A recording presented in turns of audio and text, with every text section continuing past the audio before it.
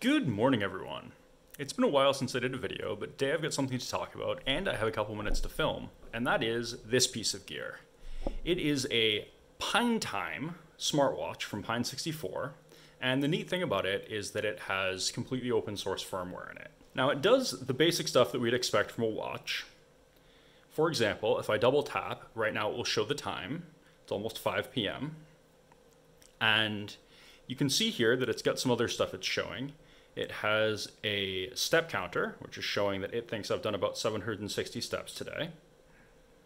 It shows the current date. It shows how much battery is used, so this is about half full. And we can swipe in a couple different directions to see other things. If I swipe here, we can see that I had an incoming call notification. And this is what it would look like if I were getting an incoming call from that number and I could go ahead and answer or reject the call or mute the call here directly from the uh, from the smartwatch. And that part actually works. I can hook this up to my Android phone, and it will immediately show incoming call notifications. It'll even vibrate for me, and that's kind of neat. In addition to that, I can swipe down to get access to some of the other things. We've got a timer thing. We've got control over music on my phone. We've got stuff hooked up to let it do, do navigation. We have control over that step counter. We have control over a heart rate monitor. And this heart rate monitor will in fact show my heart rate. It takes it a second to figure out what's going on. And I don't know whether the heart rate number is accurate. Uh, that's probably not accurate. I don't think my heart rate is quite that high. But it only does the heart rate monitoring when it is uh, when heart rate monitoring is enabled and the watch is awake, which means that it's not recording sort of long-term heart rate information.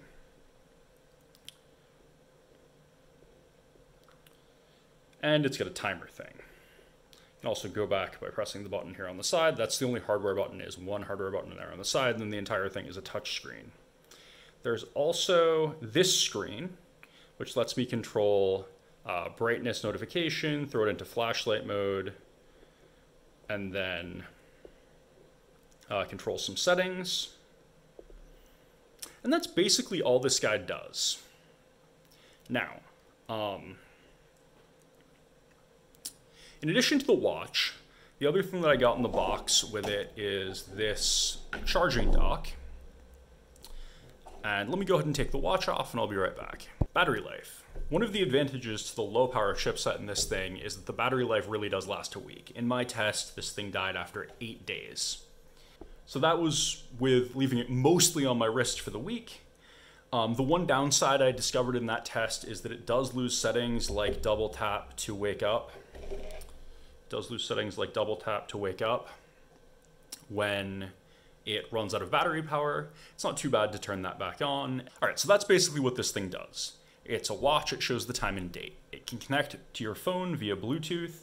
I know it works on my de-Googled Android phone. I haven't tested it with anything else, uh, but I did see documentation for Linux phones on it. And it will sync time, it will show notifications. Then in addition to that, it has a a step counter feature and a heart rate monitor feature. The heart rate monitor feature isn't terribly convincing, and I'm not especially convinced by the step counter either.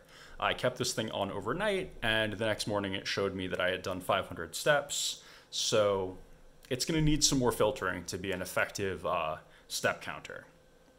And with the default firmware, that's what this thing does. And for the price, this thing was $27. That's not terrible. A uh, smartwatch that the only thing smart it does is sync time and show notifications is okay for $27. I don't know that that's great, but it's not bad. But the really exciting thing about this is the possibility of being able to program it. And so it can connect to a phone via Bluetooth Low Energy, and it has this 1.3 inch touchscreen on it. And the one I have here is a sealed device. They've uh, glued the back on, so this is water resistant. And so this isn't what they recommend using for development. They also offer open ones where the back hasn't been glued on uh, for $2 cheaper, and they come with a serial connector. The problem with developing on this sealed device rather than on the DevKit device without the back glued on is that if you were to flash firmware on here that froze and therefore prevented additional firmware from being flash from being flashed, you would have to wait for the battery to run all the way down and for it to reboot before you would get another opportunity to flash it. And even that wouldn't be super reliable because you'd have to catch the exact window where it rebooted. Whereas if you have an unsealed device and you have access to the serial port on this, you can uh, you can access the debug stuff and get new firmware flashed on that, even with uh, broken test firmware on here.